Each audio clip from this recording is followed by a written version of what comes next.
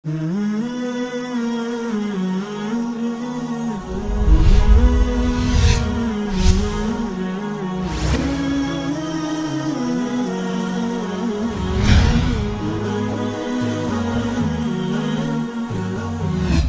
عليكم ورحمة الله وبركاته. الحمد لله رب العالمين والصلاة والسلام على سيد المرسلين وعلى آله وصحبه أجمعين. وبعد universal ভিশনের প্রিয় অনুষ্ঠান সৌতুল কোরআনে আপনাদেরকে স্বাগত জানাচ্ছি। প্রিয় দর্শক, আশা করি আল্লাহর রহমতে আপনারা ভালো আছেন। আলহামদুলিল্লাহ, আমরাও ভালো আছি। আসুন না কোরআনের আওয়াজ আমরা শুনি। কোরআন দুনিয়ার হেন বিজ্ঞান নেই, যেই কোরআন আমাদের সামনে তুলে ধরেনি। আজকে আল্লাহ তালা প্রকৃতি সম্পর্কে, তাঁর সৃষ্ট প্রকৃতি যে আমাদের প্রতি তাঁর অবদান, তার রহমত, সেগুলি বর্ণনা করছেন। আল্লাহ বলছেন, ওয়াল জিবাল আউতাদা পর্বতমালাকে আমি কিলক রূপে সৃষ্টি করেছি প্যারেক মেরে দিয়েছি। একটা কাঠের উপরে আরেকটি কাঠ রেখে যেমন সেটাকে অ্যাটাস্ট করার জন্যে, গেঁথে দেওয়ার জন্য কিলক মারা হয়, তেমনি আল্লাহ তালা পর্বতমালাকে পৃথিবীর জন্য কিলক হিসেবে সৃষ্টি করেছেন। এটা যে দুরন্ত গতিতে মহাশূন্যে ছুটে চলেছে বাইরের যে একটা আহ্নিক গতি রয়েছে পূর্ব থেকে পশ্চিম দিকে যে তার আহ্নিক গতি, সে যে ঘুরে, নিজের বৃত্তির মধ্যে সে যে ঘুরে এই ঘূর্ণির মুহূর্তে সেটা যাতে নড়বড়ে না হয়ে যায়।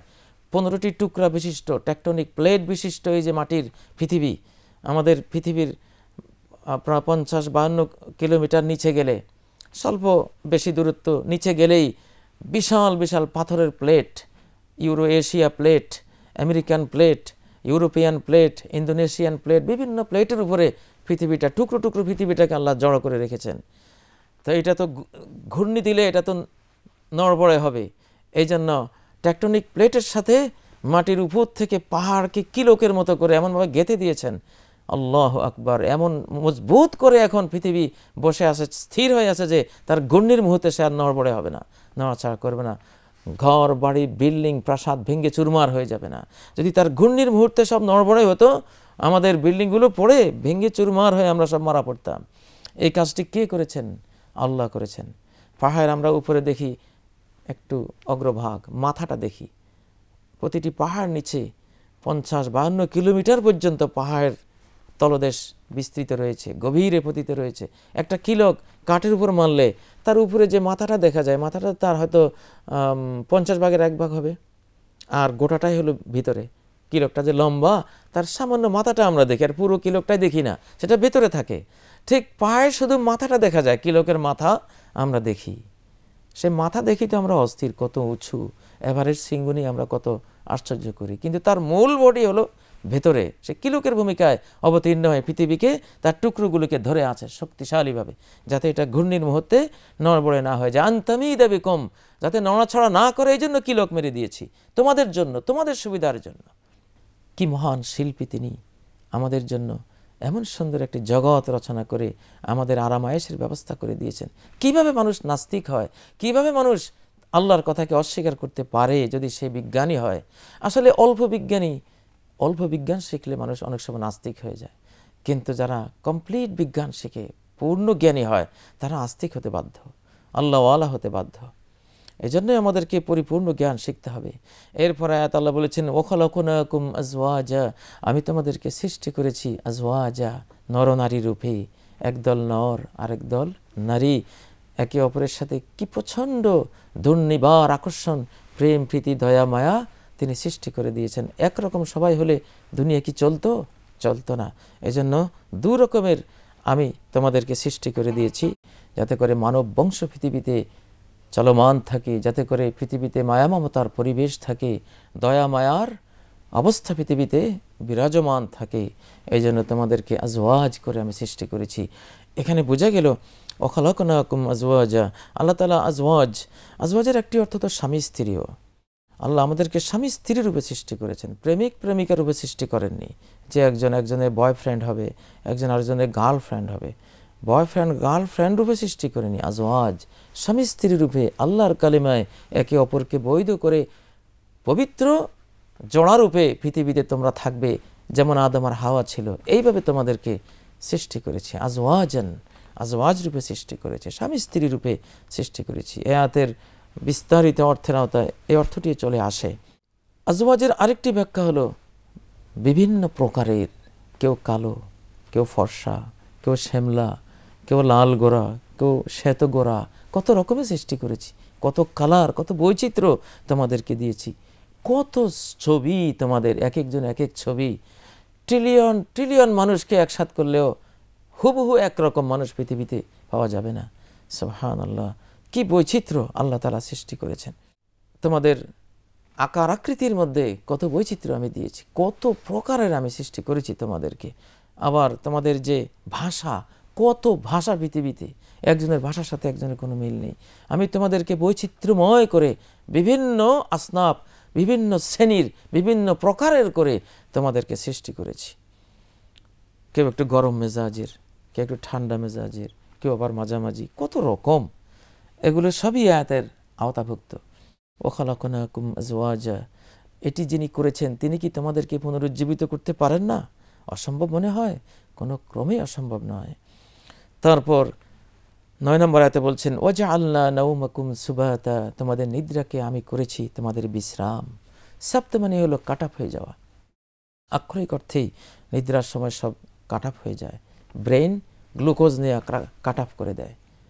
তখন সে তার খাদ্য নেয় না। যখন খাদ্য নেয় না, আস্তে করে তার নির্দেশে ধীরে ধীরে চোখ, তারপরে হাত, তারপর পা সব কিছু অঙ্গ প্রত্যঙ্গ শিথিল হয়ে আসে। মানুষ ঘুমিয়ে পড়ে। ওয়াজা আল্লাহ নৌমকুম সুবাতা। আর এই ঘুমের কারণে আমরা কত বিশ্রাম পেয়ে যাই। বিশ্রাম শ্রমেরই অঙ্গ, একসাথে গাথা, নয়নের সাথে যেন নয়নের পাতা। আল্লাহ আমাদেরকে বিশ্রামের ব্যবস্থা করে দিয়েছেন ঘুমের মাধ্যমে। এক নাগাড়ে মানুষ বহুদিন পর্যন্ত ঘুম যেতে না পারলে সে মারা পড়বে, নির্ঘাত, সে মরে যাবে। তাহলে ঘুমও আমাদের একটি জীবন। আল্লাহ আমাদেরকে এটি দান করেছেন। আর এই ঘুম কিন্তু মৃত্যু। মানুষ ঘুমের নব্বই মিনিটের এক একটি পর্বের পনেরো বিশ মিনিট কমপ্লিট একদম ডেড বডি সে মৃত। এটা যেমন সুরা আজমারের একচল্লিশ বিয়াল্লিশ আয়ত আল্লাহ বলেছেন যে ওহু আল্লাজি আল্লাহ ইয়াতাওয়াফাল আনফুসা হিনা মাউতিহা ওয়াল্লাতি লাম তামুত ফি যার জীবন শেষ, তাকে তো মৃত্যু দিবসে কমপ্লিট মৃত্যু দেন। আর যার সেই চূড়ান্ত মৃত্যু আসেনি ওল্লাতি লমতামুৎফি মানামেহা, তাকে প্রতিদিন তার নিদ্রাকালে আল্লাহ মৃত্যু দেন। আল্লাহ আকবার। আমরা কিন্তু একদিনের জন্য পৃথিবীতে আসি। আমরা প্রতিবার, প্রতি চব্বিশ ঘন্টায় একদিনের সময় নিয়ে পৃথিবীতে আসি। যতক্ষণ আমরা জাগ্রত থাকি, ততক্ষণকার জন্য আসি। যখন ঘুমিয়ে পড়ব ঘুমের দোয়ার মধ্যে কিন্তু ঘুমের কোনো উল্লেখ নেই। ঘুমের দোয়ার মধ্যে উল্লেখ আছে মৃত্যু আর হায়াত হায়াত আর মহতের আল্লাহম্মা বিস্মিকা আমুত আহিয়া। আল্লাহ, এখন তোমার নামে আমি মরে যাচ্ছি। আমি গেলাম ঘুম। দোয়াটা পড়লাম কিসে? মৃত্যুর। তার মানে এটা মৃত্যু। এখনকার ঘুম বিজ্ঞান যেটা, মানুষের বিজ্ঞান গবেষণা দেখা গেছে যে নব্বই মিনিটের একটা পর্বের পনেরো বিশ মিনিট কমপ্লিট মৃত থাকে মানুষ। মরে যায়। এই জন্য আবার ঘুম থেকে জাগার যে দোয়া সেখানেও আলহামদুলিল্লাহ আহিয়ানা বায়দামা আমাতানা। সব প্রশংসা সে আল্লাহর, যিনি আমাদেরকে হায়াত দিলেন মৃত্যু দেওয়ার পর। তাহলে প্রতিদিনই তো আমার মৃত্যু হচ্ছে। প্রতিদিনই তো এক পুনরুজ্জীবন আমার জীবনে ঘটছে। তুমি আখেরাতের পুনরুজ্জীবনকে অস্বীকার করো? কেন? তুমি তো চব্বিশ ঘন্টায় প্রতি প্রতি চব্বিশ ঘণ্টা একবার তোমার পুনরুত্থান ঘটছে। এই জন্য নবীজি বলতেন, কামা কামা তানামুন তামুতুন ও কামা তাস্তাই কেজুন এত আসুন যেমন তোমরা ঘুমাও, এমন একদিন মরেও যাবে। আবার ঘুম থেকে যেমন জেগে উঠো, এমন কবর থেকেও একদিন জেগে উঠবে। একই জিনিস তো। এখনকার এখনকার বস্তু বিজ্ঞানের যুগে তো আরও ক্লিয়ার আমরা জানতে পারছি যে ঘুম একটি মৃত্যু।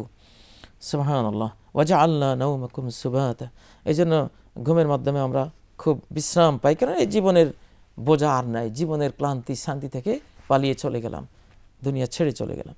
তারপরে আয়ত আল্লাহ বলেছেন ওজা আল্লাহ লিবাসা আমি রাতকে করেছি তোমাদের জন্য পোশাক। আধারের চাদরে পৃথিবীর সব কিছু ঢেকে যায়। একটি ল্যাপ মোড়ো দিয়ে যেমন ঘুমিয়ে পড়ি, সেটা আমাদের কিছুতেই পরিপূর্ণ শান্তি দেবে না যদি বাতিটা জ্বলে থাকে। ঘুমন্ত মানুষ যদি বাতি জ্বালিয়ে ঘুমায়, এখনকার মেডিকেল সায়েন্স বলছে ক্যান্সার হবে তার। বাতি জ্বালিয়ে ঘুমালে ক্যান্সার হবে। রিফ্লেকশন হবে চোখের সাথে তার। অত্যন্ত ক্ষতিকর। ঘুমের জন্য পরিবেশ চাই, অন্ধকার। আল্লাহ বলছেন, আমি একটা ঘুমের, একটা রাতের আধারের লেবাস তোমাদেরকে পরিয়ে দিয়েছি। আল্লাহ আকবর। ওয়াজা আল্লাহ লিবাসা। রাতকে তোমাদের জন্য করেছি পোশাক। একেবারে বোরকার মতো সারা শরীর ঢেকে গেল। মহাবিশ্বের মূল অবস্থাটা কিন্তু কালোই। মহাকাশ কিন্তু কালো। রাতটাই এই পৃথিবীতে আসল। আলোটা হলো ক্ষণস্থায়ী। পৃথিবীর পরিবেশে আলো জ্বলে ওঠে। এই জন্য মহাকাশ সম্পর্কে আল্লাহ বলেছেন, সেখানে বলেছেন সুরা আন্নাজায়াতের মধ্যে ও আখতসালাইলাহা ও আখরাজা দোহাহা। মহাকাশের রাতকে আল্লাহ করেছেন নিখোশ কালো অন্ধকারময়। মহাকাশে চব্বিশ ঘন্টাই কালো থাকে।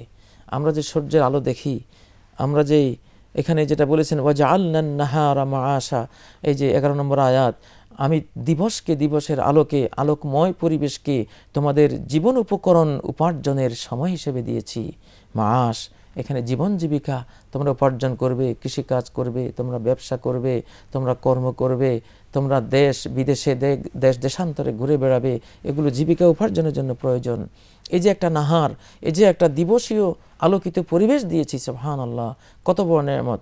মাটির পৃথিবী থেকে দুশো কিলোমিটার ঊর্ধ্বে যখন মহাকাশচারীরা উঠে, হঠাৎ অন্ধকারে হারিয়ে যায়। আল্লাহ আকবর। প্রথম মহাকাশচারী নীল আর্মস্ট্রংরা যখন দুশো কিলোমিটার পেরিয়েছিলেন, তখন চিৎকার করে বলেছিলেন, I loss my eyesight আমি আমার দৃষ্টিশক্তি হারিয়ে ফেলেছি। যেটা সুর আল হিজর আল্লাহ বলেছেন ওলাউ ফাতাহনা আলাইহিম বাবা মিনাস সামাই ফজল্লু ফিহি আরুজুন। যদি আকাশের দুয়ার খুলে দিই, আকাশে যাওয়ার তৌফিক দিয়ে দিই আর উঠতে থাকে, লকলু ইন্নামা সুক্ষরাত আবসারুনা। হঠাৎ ওখানে গিয়ে বলবে, হায় রে, আমাদের চক্ষু কি জাদুগ্রস্ত হয়েছে? ইন্নামা সুক্ষরাত আবসারুনা। আমাদের চক্ষু কি নেশাগ্রস্ত হয়েছে? দেখি না কেন। বাল্লাহনু কৌমম মাসরুন বরং আমরা জাদুগ্রস্ত হয়ে পড়েছি, কিছু দেখা যায় না। নীল আর্মস্ট্রংরা এটি- এটাই বলেছিলেন, অন্ধকারে হারিয়ে গিয়ে। এখন প্রশ্ন হলো, তাহলে আমরা তো দেখি চতুর্দিকে আলো। সূর্য আলোকিত, না। সূর্য হলো কালো বামন নিকশ কালো একটা আল্লাহর সৃষ্টি। তার মধ্যে কোনো আলো নেই। তার যে তাপ বিদ্যুৎ শক্তি, এটা পৃথিবী নামক বাল্বীয় পরিবেশে ঢোকার সাথে সাথে দপ করে জ্বলে ওঠে। যেমন আমার আমার বিদ্যুৎ বাল্বের অবস্থা। পাওয়ার হাউস থেকে যে তারে, এই তাপ বিদ্যুৎ শক্তিটা আসে, সেই তারের মধ্যে কোনো আলো আপনি দেখবেন না। এটা অন্ধকার তার। আলো নাই। শুধু ওই তার বেয়ে তাপ বিদ্যুৎ শক্তিটা আসতে থাকে। সেটা একটা বাল্বীয় পরিবেশে যখন ওই তাপ বিদ্যুৎ শক্তি ঢুকে, ধপ করে জ্বলে ওঠে, এটা ওই বাল্বের যোগ্যতা, বাল্বীয় পরিবেশের যোগ্যতা। ঠিক মাটির গোটা পৃথিবীটা একটা বাল্ব আল্লাহ বানিয়েছেন। এই বাল্বের উপরে কোনো আলো নাই। সূর্য গোটা মহাকাশ নয় কোটি তিরিশ লক্ষ মাইল জুড়ে সে অন্ধকার। পৃথিবী নামক এই বিশাল বাল্বীয় পরিবেশে তার তাপ বিদ্যুৎ শক্তি ঢুকে পড়লে ধপ করে জ্বলে ওঠে। আমরা আলো পেয়ে যাই সুবহান আল্লাহ আমার ছাত্র জীবনে আমার স্মরণে আছে। সুরাওয়ার শামসের ওই আয়াতটা আমি বুঝতাম না। যেখানে আল্লাহ বলেছেন ওন্নাহা রিজা জাল্লাহা। কসম দিনের দিন যখন সূর্যকে আলোকিত করে। আমি ওস্তাদকে প্রশ্ন করতাম, ওস্তাদ, দিন সূর্যকে আলোকিত করে, এটা কেমন কথা? সূর্য দিনকে আলোকিত করে, কিন্তু এখানে কথাটা উল্টা। আমরা এখন বুঝতে পেরেছি যে সূর্য দিনকে আলোকিত করেনি, দিন সূর্যকে আলোকিত করেছে। সূর্য তার পুরো রাস্তাই অন্ধকার। শুধু পৃথিবী নামক বাল্বীয় পরিবেশে আল্লাহর করুণার, রহমতের এই পরিবেশে তার বিদ্যুৎ শক্তি ঢোকার সাথে সাথে এখানকার কণিকাগুলির সাথে রিফ্লেকশন করে ক্রিয়া বিক্রিয়া করে এটা জ্বলে ওঠে। আল্লাহ আকবার। এই জন্য পৃথিবী পরিবেশ সূর্যের তাপ বিদ্যুৎ শক্তিকে আলোকিত করে দেখায়। এটা পৃথিবী পরিবেশের যোগ্যতা। এটা আল্লাহ দিয়েছেন। তো এই যে এত বড় কারুকার্য, এত বড় বিজ্ঞান, যার জানা, যার শক্তির আওতায়। তিনি কি তোমাদেরকে পুনরুজ্জীবিত করতে পারবেন না? কি বলো তোমরা? অবশ্যই পারবেন। অবানাইনা ফৌকুম সাবান সিদাদা তোমাদের মাথার উপরে ষাটটি আকাশ, কঠিন আকাশ আমি সৃষ্টি করেছি। মাথার উপরে সাতটি আকাশ, আল্লাহ আকবার। সাত মহাকাশ তো আছেই। তারপরে আবার মাথার উপরে সাতটি বায়ুমণ্ডলী স্তর আছে। আইনোস্ফিয়ার, ওজোনোস্ফিয়ার টফোস্ফিয়ার কত স্ফিয়ার এই যে সাতটি কঠিন স্তর আমাদেরকে ঘেরাও করে রেখেছে। যদি এই সাতটি বায়ুমণ্ডলীয় স্তর আমাদেরকে আশ্রয় না দিত, তাহলে মহা, মহাকাশের কসমিক কণাগুলো, আলট্রাভায়োলেট রেগুলো, অতি বেগুনি রশ্মিগুলো, যেগুলো স্কিনের সাথে টাচ লাগলেই ক্যান্সার হয়ে যায়, সেগুলো এসে আমাদের গোটা মানব বসতিকে ক্যান্সারে ক্যান্সারে শেষ করে দিত। কিন্তু ফিল্টার করে ওই রেগুলো ক্ষতিকর আলোগুলোকে ফিল্টার করে বায়ুমণ্ডলের ওই ওই চালন, চালনের মধ্যে ফিল্টার হয়ে যেটা, যেটুকু উপকারী আর প্রয়োজন সেটা নেমে আসে আমাদের কাছে। সেটা আমরা ভোগ করে আমরা একটি সুস্থ জীবন, আনন্দময় জীবন আমরা এখানে ভোগ করছি। আলহামদুলিল্লাহ। তো আল্লাহ ষাটটি আমাদের উপরে যেমন ষাটটি বায়ুমণ্ডলীয় স্তর আছে, আজকে যেমন ওজন স্তর ফেটে গিয়েছে, বিজ্ঞানীরা বলছেন ক্লোরোফ্লোরো কার্বন সেই কার্বনের কারণে ওজন স্তর ফেটে গিয়ে সূর্যের আল্ট্রাভায়োলেট রে পৃথিবীতে নেমে আসছে এবং তার কারণে ক্যান্সারের প্রকোপ বেড়ে গেছে। তাহলে আল্লাহর কি রহমত? মা তারা, হাল তারা আমিন ফুতুর, সুম্মার জাইল বাসারা কররতেইন, বারবার দৃষ্টি ফেরাও, আকাশের দিকে তোমার মাথার উপরে যে বায়ুমণ্ডলের সাতটি স্তর আছে, ফেরাও। হাল তারা আমিন ফুতুর, কোনো ফাটল কি আছে? কোনো ফাটল নেই। ফাটল থাকবে না। ফাটল ধরিয়েছে তোমরা এখন। বিশ্ব প্রকৃতির উপরে জুলুম করে, কার্বন, বিভিন্ন ক্লোরোফ্লো কার্বন সহ বিভিন্ন পদার্থ নিঃসরণ করে অতিমাত্রিকভাবে। তোমরা এটাকে ফাটল ধরিয়েছ। আল্লাহ এখানে কোনো ফাটল রাখেননি। তারপর আল্লাহ বলছেন ওয়া আল্লাহ সিরাজা ওয়াহাজা। আমি সৃষ্টি করেছি এক উজ্জ্বল প্রদীপ, জ্বলন্ত অগ্নিকুণ্ড এই পৃথিবী। আল্লাহ একবার সে হাইড্রোজেন বোমের মতো পারমাণবিক বোম বিস্ফোরণ করার যে পাওয়ার, ওই বিস্ফোরণ ঘটিয়ে ঘটিয়ে সে দুরন্ত গতিতে ছুটে চলেছে। সে সূর্য থেকে আমরা আলো শক্তি পাই। সূর্য থেকে আমরা পাওয়ার লাভ করি। সূর্য, সূর্যের শক্তি দিয়েই আমরা চলি। এই পৃথিবীতে উদ্ভিদ, এই পৃথিবীতে জীবন চলমান রয়েছে। এ সূর্যের ওই পাওয়ার দিয়ে ওয়াজা আল্লাহ সিরাজা ওয়াহাজা ওয়ানজাল্লা মিনাল মৌসিরাতি মাআন সাজ্জাজা। আর আমি বর্ষণশীল মেঘমালা থেকে মুসলধারার বৃষ্টি অবতীর্ণ করেছি। প্রিয় দর্শক, আল্লাহ তালার এই দয়ামায়ার বিষয়গুলো আরও বিস্তারিত আসা উচিত। আজকে আমাদের হাতে আর সময় নেই। আমরা চোদ্দতম আয়াতে এসে থামলাম, ষোলোতম আয়াতের ইচ্ছে করেছিলাম, চোদ্দতম আয়াতে এসে থামলাম। তো এখানে আমরা যে শিক্ষাগুলো পেয়েছি আজকের এই আয়াতগুলিতে, আসলে যে আল্লাহ তালার এই বিশ্ব প্রকৃতি দেখে আল্লাহর শুক্রিয়া আদায় করা উচিত। এই পৃথিবীর প্রতিটি সৃষ্টি আমাদেরকে জানান দিচ্ছে যে এটি এক মহা সর্বশক্তিমান আল্লাহর সৃষ্টিকর্তার সৃষ্টি। এগুলো যিনি পারেন, অবশ্যই পরকাল তিনি সংগঠিত করতে পারেন। আর এই পৃথিবীর জীবনেই প্রতি চব্বিশ ঘণ্টা একবার আমাদের পুনরুত্থান চলছে ঘুমের মাধ্যমে। সেখানেও আমরা বিশ্বাস করলে আমরা অবশ্যই এই আকিদা পেয়ে যাই যে আমাদের পুনরুজ্জীবন একেবারেই সম্ভব আল্লাহ তালার দ্বারা। তারপর আজকে আল্লাহ তালা ঘুমের কথা বলেছেন, রাতের কথা বলেছেন। এই সবগুলি, এই বিস্ময়কর জিনিসগুলি প্রত্যেকটি একটি মিরাকল ব্যাপার, অলৌকিক ব্যাপার, রাত একটি অলৌকিক ব্যাপার। কে পারবে এমন একটি সুন্দর রাত রচনা করতে? দিন একটি অলৌকিক ব্যাপার, কে এমন একটি দিন আমাদেরকে উপহার দিতে পারবে? কুল মাখলুকাত একত্রিত হলে পারবে না। এই পাহাড়ের কথা যে বলেছেন, এই পাহাড় না হলে পৃথিবী অচল। তার আহ্নিক গতি, সূর্যের পিছনে তার দুরন্ত গতি, তার গ্যালাক্সি গতি, তার কক্ষ তার তার যে নিজস্ব গতি, কোনো গতি সম্ভব ছিল না যদি এই পাহাড়গুলো দিয়ে এই পৃথিবীকে শক্তিশালী করা না হতো। প্রিয় দর্শক, আজকে আসলে কোরআনের আয়াত থেকে যেমন আল আয়াতুল মখরুয়া কোরআনের আয়াত থেকে যেমন আমাদের জ্ঞান নিতে হবে, তেমনি আল আয়াতুল মাসহুদা দৃশ্যমান পৃথিবীর প্রতিটি জিনিসে এক একটি আয়াত, সে আয়াতগুলো থেকে আমাদের জ্ঞান নিতে হবে। উভয় জ্ঞানে আমরা সমৃদ্ধ হয়ে আল্লাহর প্রতি, পরকালের প্রতি আমরা বিশ্বাস পোষণ করব। আল্লাহ আমাদেরকে বিশ্বাসের তৌফিক দান করুন।